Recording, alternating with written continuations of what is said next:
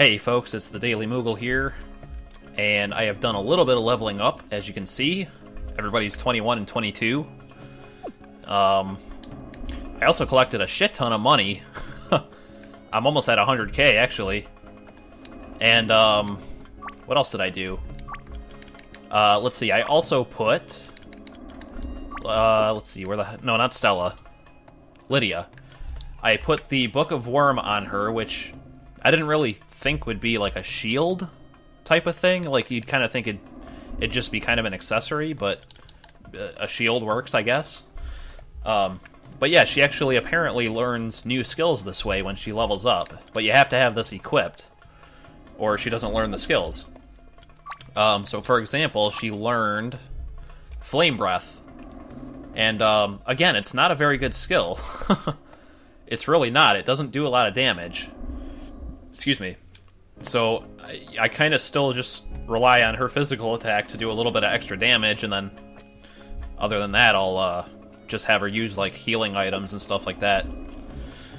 But um, the next order of business is we actually got to take out this Dragon Lord guy over here. And to be honest, you can actually handle him uh, without buying that fire equipment uh, at the shop. Um, I was actually able to do it without that stuff, so I'm going to attempt to do it again while I'm recording, and we'll see how it goes. If I'm recording, usually this means uh, it's not going to go my way, but... What the hell, you know, let's try it. Worst that happens is everybody dies and we just try it again. Um, so let's see. Just everybody attack, attack, Edward does a lot of damage, so you definitely want to have him attack as much as possible, like every single turn, basically, because that's as often as he can attack. That was kind of dumb to say. But yeah, 590. Yeah, he's going to use Flame Wind a lot, but it doesn't do nearly as much damage to uh, Edward and Lydia. So basically, odds are Mel is going to die. Um, Yeah, which is fine. Te'ijal can kind of keep herself alive with Drain, and then because the attacks don't do a lot to Edward and Lydia, you can kind of just heal them up as needed. And uh, really, you'll be just fine. See, I'm gonna get screwed with Te'ijal though, because I should have used Drain. On the off chance that he attacked first, but um, I'm actually a little bit confused about why I don't have any healing items. I must... I must have, uh... Bought some before, and then I forgot to do it this time. So that's a pretty good sign that we're gonna fail. But you never know, we could pull it out still. Yeah, whatever. That's why I have Cassia Leaves. Bum, ba. Such epic music. Nice. If Edward would get a critical hit, that'd actually be better. Yeah, there you go. See, we got him. No problem. You know what? And I'm looking at Audacity right now, which is what I use to record my mic. And I'm actually clipping a little bit. I'm talking too loud, slash I need to actually turn the mic volume down a little bit. Let me see if I can turn it down a little bit real quick. Or something like that, maybe. Just so I can kind of talk the way I have been and not... Yeah, now it's not clipping, so that might be better. Sorry for the volume change there, guys. I'll, um, I'll get everything squared away eventually here. But yeah, we get a quarter key for killing... Well, not killing him, but for beating him in battle anyway. Good luck on your quest, two legs two legs. You're walking on two legs. Jackass. Well, anyway, that is all there is to it. Um, I'd like to kind of crawl my way back to the inn, I guess. Because I would like to revive Mel and then heal up a little bit. There we go. And then uh, we're gonna get the heck out of here. That key was all we needed. And the fastest way to get out of here, I remembered, is to just use your compass. Like, you don't even have to pay the thousand gold to go back to Tar Vedron. You can just use your compass anywhere, and it takes you right back to your ship. So, that's handy. Like, we've already seen how handy it is, but that case in particular is extremely handy. It saves you a lot of money. And time and effort if you were going to actually attempt to, like, trek back all the way by foot. But uh, the next order of business, we're going to sail down here to kind of the southwest. No, this is the southeast, rather, corner of the world. This area right here is the bazaar. Boom, boom, boom, boom, boom, boom. Some fun music. And yeah, we can buy some pretty good healing items here. Uh, the Star Peaches are, you know, they're a little bit pricey, but they do recover 300 health, so I'm gonna buy a lot of those. It is a beautiful day, is it not? It wasn't a beautiful day here, let me tell you. We just had, like, a monsoon for about 10 minutes. And we ordered Pizza Hut, and I went to pick it up, and of course it started pouring right when I left to pick it up. Um, but anyway, this guy Rufus, so instead of returning the dude's dragon scale back to him that we did uh, at the end of the last video, you actually could have brought it here instead, and you would sell it to this guy for money. But, uh, for turning in the scale, we got... I think we got this crown, right? Isn't that how we got that? Which is part of another quest. So, unless you're, like, in dire need of some money, I highly recommend that you don't sell it to this guy. You want to get the crown so you can fulfill the other quest. But you have the option if you want it. What's this? What's she doing in the water over here? um, let's see. Citizens from all over the world come here to trade rare items. This is the guy that we are going to make our wine delivery to. Because if you remember... Yeah, the guy was at the bazaar, so here he is. And then there's the guy with a blue hat, hiding way back here. The bazaar has exotic fruits from all over the world. It's actually not that big of a bazaar, really. There's only two shops. And you can only buy uh, like a couple items at each one. But maybe there's more stuff here as the game progresses. It could be one of those areas that kind of develops more stuff over time, and maybe we'll come back here at some point. But, now that that's done, um, you know what I do need to do? And since we just delivered some wine, now is especially good time to do it. We should return back to... I think it was up here. Um... I don't think this is it, is it? No. I want to go back to Chateau Lenore and the Moo Hatchery because we have an egg to hatch. Remember. Oh, that's Avion. I'm way... I'm way back in the wrong spot. Here we go. Yeah, I gotta go up through the rocks. Jeez, man. And here it is. Okay. Wait a minute, what's that egg doing there? Is that... Is that mine? I didn't bring that here. Oh, that's the golden goose egg. Oh, yeah, because the golden goose wanders around outside. Yeah, that's right. For a second, I was like, what the heck is that? So, yep. Let's go ahead and hatch our Firebird egg.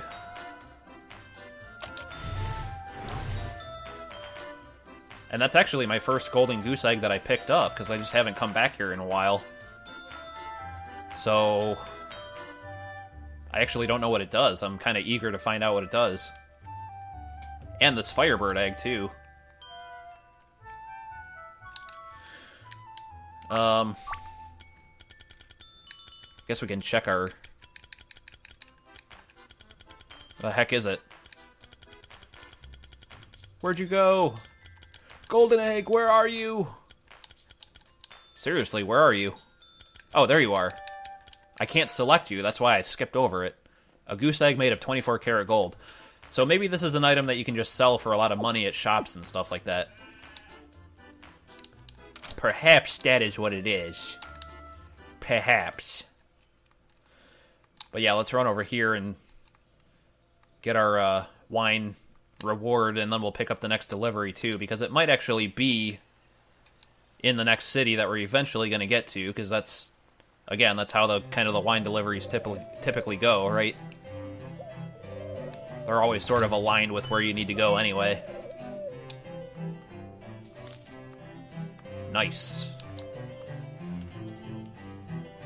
Oh, maybe not. This person's in the underworld. And the, uh... Wow, the gold didn't even double. It actually more than doubled. Wow. Now we're in the big leagues. We're the big-time wine deliverers. Um, okay. I need to go back to my ship, so why am I walking? I'm just to use this thing again. Um, there you are.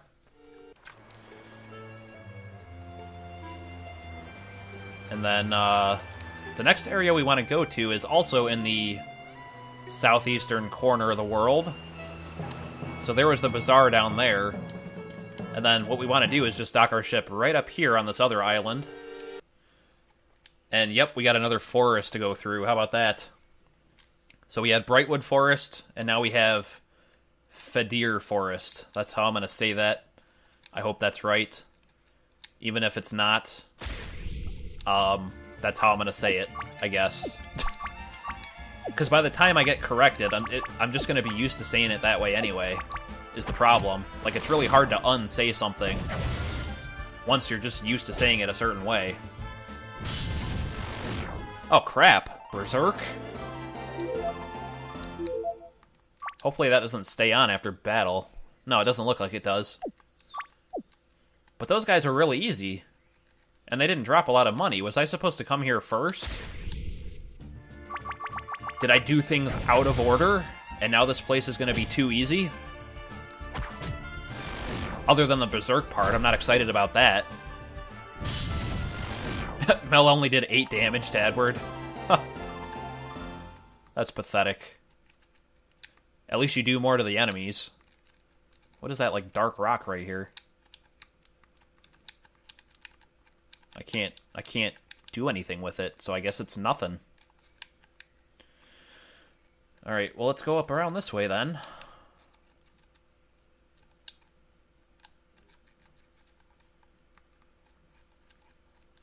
Uh, holy crap, there's like a griffin over there.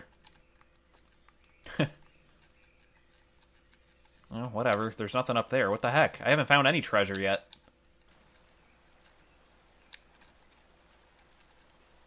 What? What? How did I... What? I thought I went that way. Are you serious?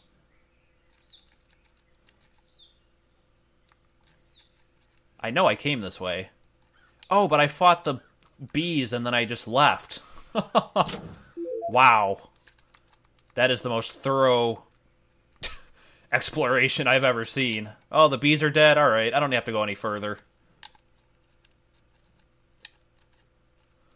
Okay, now let's let's go back over here now.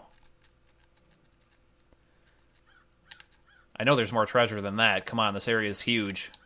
That's a dead end. That's awesome.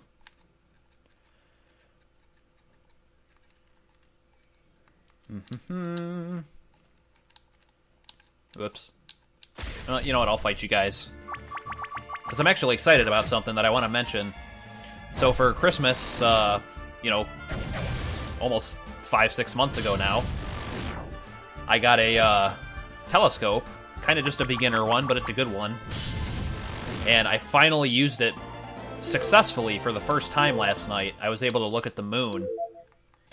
And um, even something as big and shiny and obvious as the moon is kind of tough to get like to get your telescope pointed right at the right spot. I'm kind of afraid of that griffin thing. But I gotta fight him anyway. But um yeah, I finally figured out kind of how to make it work. Um, in addition to the telescope itself, I got a little accessory kit that comes with like different uh, lenses and different filters that you can use. So there's a filter that you can put on specifically for observing the moon, and that kind of hurt, by the way. And, uh, holy crap. Just one-shotted Mel there at full health, or almost full health. And Lydia learns Dragon Snort.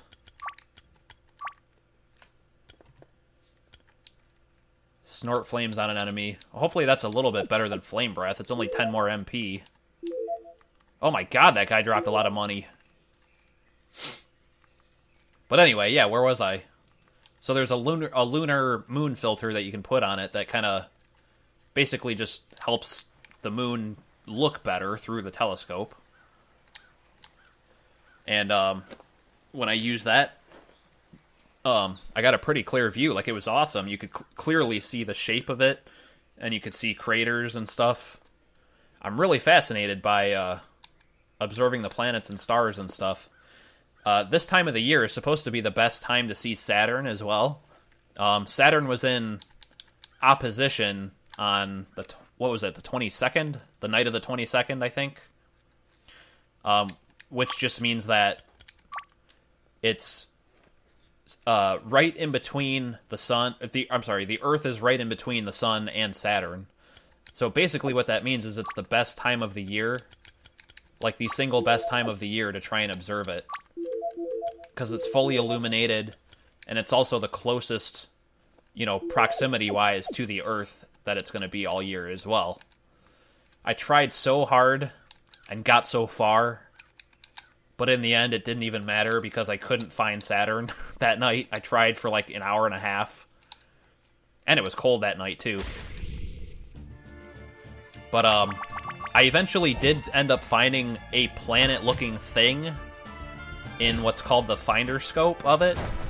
The finder scope is just a you know, a less powerful lens that you look through basically just to try to make sure you're looking at something like it gives you a broader view in the sky, and you, you just try to find whatever you're trying to look at in there first, and then you can use the fine adjustments to actually find it through the actual, you know, the larger, fuller telescope lens, I guess.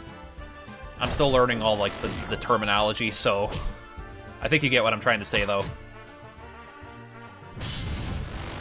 Um, man, that berserk status is kind of annoying, isn't it? I should be able to protect against that somehow, shouldn't I?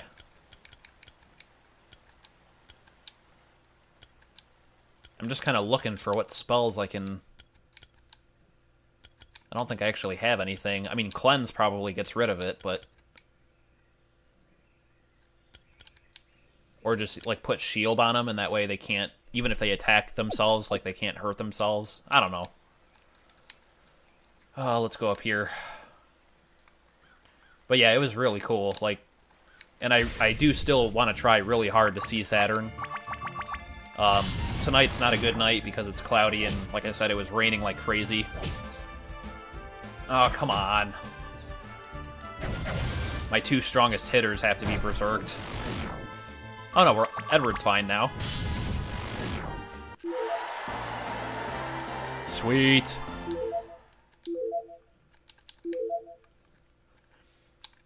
So yeah, anyway, I saw something in my finder scope, but then I I couldn't see it through the telescope, and it turns out I discovered this after finding the moon that the finder scope and the the telescope were not aligned very well.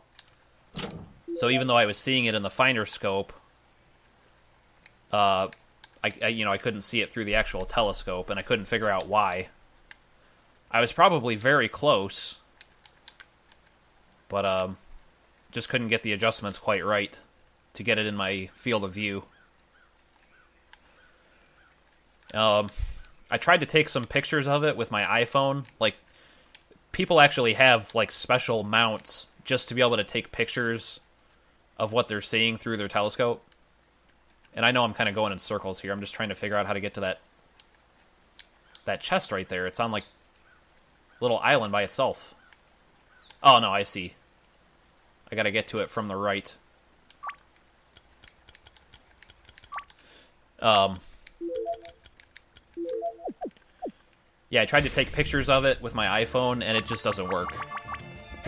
Like, it doesn't do it justice. It just looks like a, a ball of light. it looks a lot better when you're actually looking at it yourself. But yeah, people have special mounts that, um, I guess somehow, like, allows you to take really good pictures of what you're seeing through your telescope. And I just picked up a Berserk amulet. I'm assuming that's going to protect against Berserk. And maybe we can even buy those at the town that we're trying to get to. Um, so let's see. We read that sign a while back that said uh, this place was supposed to be in the east. And uh, yeah, I keep running into dead ends here. Must be up this way in east, right? Because I think I already went over there, didn't I? No, this doesn't actually look familiar. Wait, is that the entrance?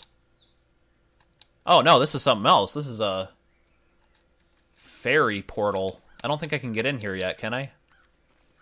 You see a large stone slab with a winged creature painted on it. There's a tiny keyhole on the right. What's this? A door in the woods with fairies painted on it? Edward, isn't this the area where the quarter key is marked on the map? Oh, it is, really? So we found the right place. But yeah, we can't get in right now. So that must be why we got to go to the city first. I mean, we want to go to the city anyway, but yeah, I'm glad I figured out where that place is accidentally, because we're going to need to come back there, apparently. Yeah, there's like a whole area up here that I didn't even get to yet. Nice, another level egg. Alright, you're all by yourself. I can probably handle you. Emphasis on the word probably. Holy frickin' Jesus. wow. Just mauled Te'ijal. That was pretty impressive. Like, I can't even be upset about that. I can't wait till I'm doing that much damage. But, uh, yeah, let's heal you, because there's more battles to come. And you know what? Stella hasn't done anything yet. No, no, no, no. Uh, this one. Rely on Drain to fill up the rest of it. If you don't get Berserked... Oh, come on, Mel. Oh, come on, Berserk.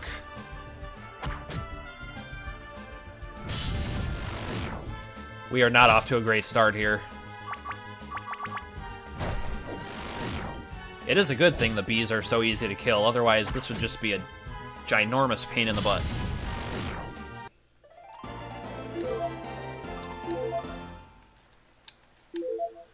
Alright, I think we're almost there. Um, oh, okay, so yeah, I don't want to go back down. Alright. But what about over here? Is there anything? Nothing? Really? Not even a pile of dirt? Whatever. Um, okay, so this must be the way to the town.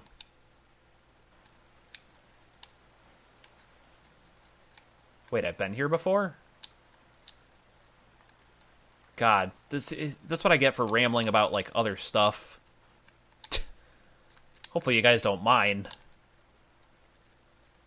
But clearly eh, I'm losing my focus. So you know what? This looks like a nice quiet spot for a rest.